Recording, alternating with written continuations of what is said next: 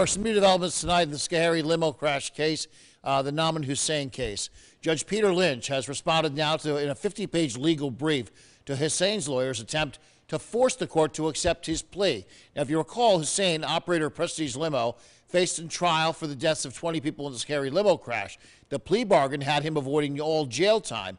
Lynch, then newly assigned to the case, rejected that plea, saying Hussain should do some time behind bars or just roll the dice and go to trial. Hussain's lawyers are trying to force Lynch to accept the original plea deal.